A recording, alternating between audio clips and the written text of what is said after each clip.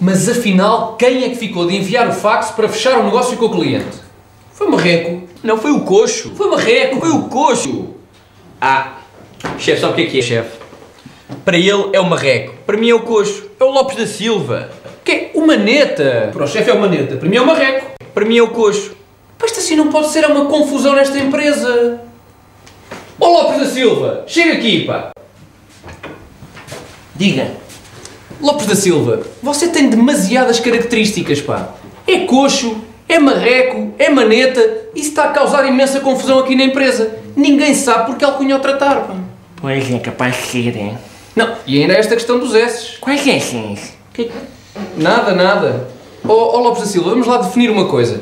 Por que alcunha é que você quer ser tratado? Mas tem um, um nome para pa, pa, pa vocês me chamarem? Exatamente, exatamente. Ah, só assim, olha, olha, é, um, um, um- ah, não, não, o, um, ah, já, Zé Manel. Pa- pa- pa- Oi, oi, oi, Zé Manel. Porquê? Porquê? Porque o meu nome é Zé Manel.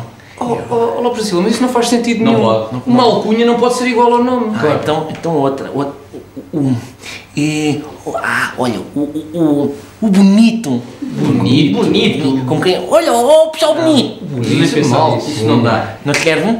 Não serve? Mas, mas tinha, tem que ser assim calhante. Tem que Sim, ser um- preferência. Devia ser. Para assim calhar. Sim. Mas o quê? O quê? O quê? que- Uh, ah! O. Um, o Guno Reis! O Guno Reis! Mas porquê? Porquê? Porque é das poucas maletas que eu não tenho.